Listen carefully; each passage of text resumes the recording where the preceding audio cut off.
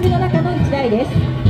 毎年10月の若宮神社秋季大祭では3基のみこしとともに盛大に巡行が行われます。今回の巡行でも華やかで感性のいい動きをぜひ皆さんご覧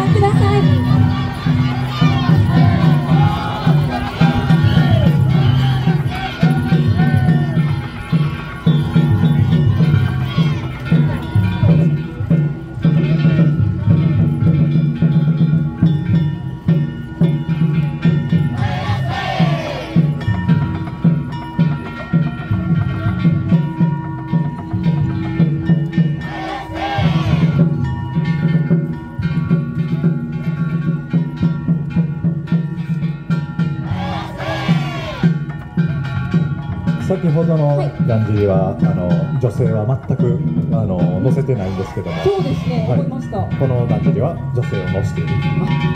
また赤でかっこいい。かっこいいですね。花が乗ってますけれども、ええ。この新在家だんじりの特徴というのはどういったそうですね。あの説明もしていただいた通り江戸時代に作られた古いだんじりですのではあの灘区で一番古いだんじりです。い、でも立派ですね。立派ですね。時代を感じないというか、しかしこの日本のええなんか本当に伝統を守られていると言いますか、しかもあの43号線の下から、い。あの歩いてこう持ってきてるんで一番遠いだんじりですね。今日だからここに来ていただくまでも、はい。結構大変だ、子供いませんしね。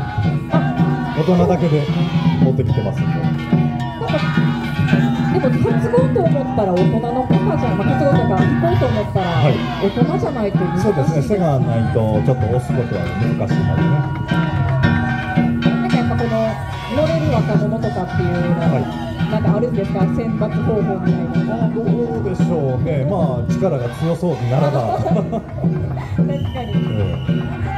若い方が多いですね。えそうですね。こちらの地区は若い方が多いですね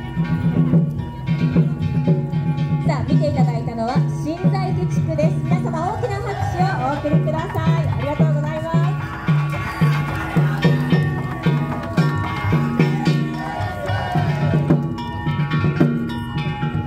さあ続いてご登場いただくのは上野地区です。